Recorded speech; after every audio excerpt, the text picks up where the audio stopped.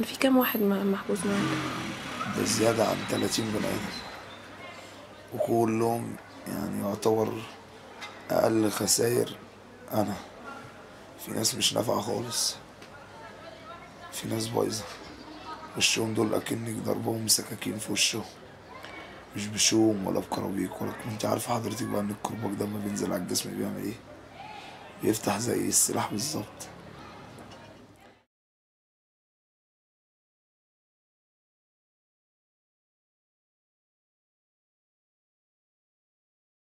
هما الإخوان وإحنا ماشيين بالمكنة راحوا موقفيننا.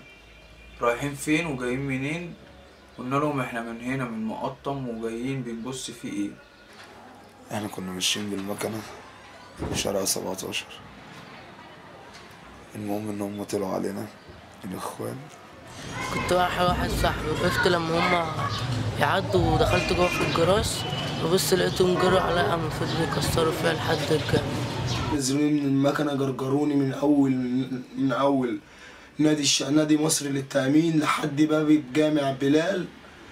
زحف على على ظهري وعلى وشي. أنا قفلت باب المحل. بعد ما قفلت الناس بتاع حوالي خمسين واحد دخلوا يضربوني. بعد كده خدوني عند ال- المك... بتاع جامع بلال وقعدوا يضربونا ويكسرونا. وبعد كده راحوا مدخليننا الجامع وهما بقى الإخوان كانوا زيادة عن أربعين نفر عمالين يضربوا فيا. وحوالي 30 واحد عمالين يضربوا زيي برضك لغاية ما أنا خلاص مش قادر. كسروني خالص. بيضربوا بقى ضرب اللي هو ضرب كفار بالشوم بقى وكرباج سوداني و... وبخشب وبالرجولة على وشنا وبنيات وكل حاجة كانوا بي... أي ضرب تتخيليه كانوا بيضربونا بيه. كل بني آدم فينا كان بيضرب فيه زي 20 30 بني آدم. بالرجول بالصايك كرباج بالشوم بالجريد بتاع الشجر. وكسرين لي صباعي بي... واحد ماسك صباعي والتاني نزل على رجلي على الأرض. فردين رجلي الاتنين ونزلوا بالشوم هنا كده على رجلي من هنا. وبقى بيضربوا فينا. بكرابيك سوداني. هو دلوقتي الكبير بتاعهم اللي كانوا مستنيينه ده قال لك ما حدش يضرب حد إلا بإيه؟ بالشوم. كسروا ايدين ورجلين بس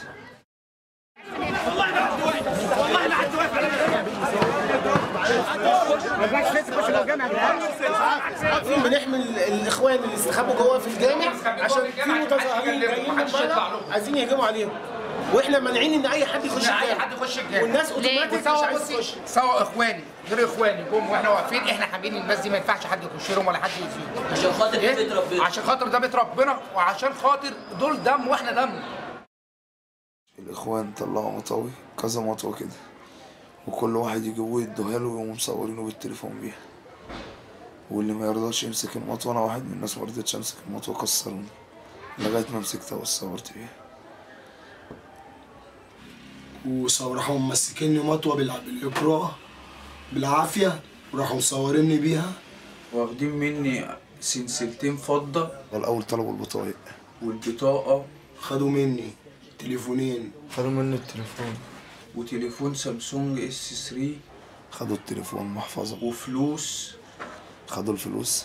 وخدوا مني ألف جنيه. خدوا مني الفلوس. في سلسلتين ودليل السلسلتين التحكورة دي اللي في رقبتي بس كانوا بقى بيقولوا لنا هنقطع لكم رجلكم وإيديكم. أنتوا مين اللي باعتكم؟ أنتوا واخدين كام؟ يقول لي خدت كام؟ يقول لي احترف. احترف وإحنا نسيبك. معرفش أنا احترف إيه يعني يقولوا لنا اعترفوا من اللي باعكم إحنا ما نعرفش حاجة. يقولوا لنا إحنا هنذبحكم. ويقولوا لنا أنتوا بتقولوا علينا إحنا خرفان هنوريكم الخرفان دول هتعمل فيكم إيه. إحنا مش هنخليكم تشوفوا إحنا مش هنسلمكم للشرطة. إحنا هنوديكم الصحراء ونولع فيكم نرميكم في الصحراء ولاعين كانوا بيقولوا لنا إحنا هنسيبكم عشان خاطر المرشد. المرشد. قعدوا يقولوا لي الحكومة إحنا ملناش دعوة ولا هنوديك للحكومة ولا هنوديك للنيابة إحنا نعرف نربيكم. هتعرفوا يعني نذبحكم وهنرميكم في, في الصحراء. النيابة ما بتجيبش النيابة بت... النيابة بتمشيكوا لا إحنا مش هنمشيكوا. تلاتين نفر في الأتوبيس معدين في الطرق كل وشه في الأرض. ما إيه مشوا بتاع تمانين كيلو. بيرموا كل واحد في كيلو. رموني أنا في كيلو ورمي صاحبي في كيلو. فبعد كده بنبص لقينا شباب طالعة متدمرة. دول اللي أنا قلت مش هيطلع عليهم النهار. اللي سايح في دمه واللي طالع وشه بايظ واللي مش قادر يمشي. يعني الناس جاية بتستلم أهاليها ميتة.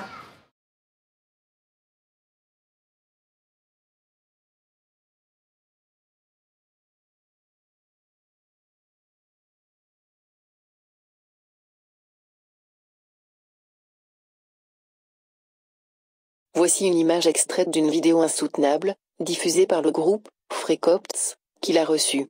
Ils expliquent que cette adolescente est la fille d'une famille de notables coptes, kidnappée, déshabillée et violée, afin de la soumettre à ce terrible chantage, ou bien elle se convertissait à l'islam, ou alors cette vidéo serait rendue publique. Comme elle est parvenue à s'enfuir, cette vidéo a été rendue publique. L'imam de la mosquée Al-Minya avait promis 30 000 livres égyptiennes aux ravisseurs s'ils réussissaient à la convertir. À cause du pouvoir des frères musulmans, aucun des criminels n'a été inquiété. Cette image-ci est extraite d'une autre vidéo insoutenable, montrant une bande de violeurs se jetant sur une famille identifiée comme chrétienne pour la violer au cri de Allah Akbar.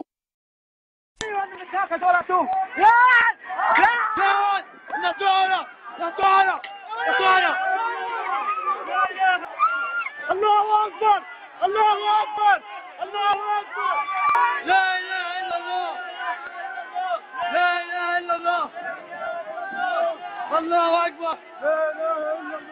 Mais s'il est vrai que les chrétiennes égyptiennes sont les cibles privilégiées des viols, elles ne sont pas les seules, comme le prouvent les nombreux articles et vidéos sur les viols de la place Tahrir lors des manifestations.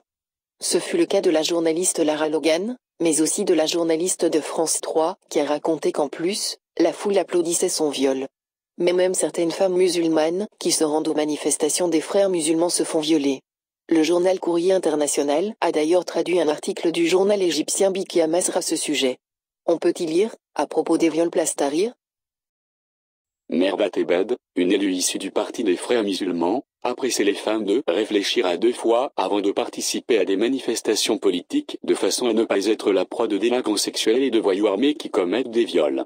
Mais au moins, Merbat Ebed n'accuse pas les femmes de provoquer ces agressions. Car c'est exactement ce que soutiennent ses collègues masculins. Les femmes ne doivent pas se mêler aux hommes pendant les manifestations, a déclaré Reda Lefnavi, du Parti de la Liberté et de la Justice, vitrine politique des frères musulmans. Comment peut-on demander au ministère de l'Intérieur de protéger une femme qui se trouve au milieu d'un groupe d'hommes? Les femmes attirent parfois le viol en se mettant dans une situation qui en fait des objets de viol, a renchéri Afifi, un général issu des rangs du parti salafiste Hizballah Salah, le parti de l'authenticité.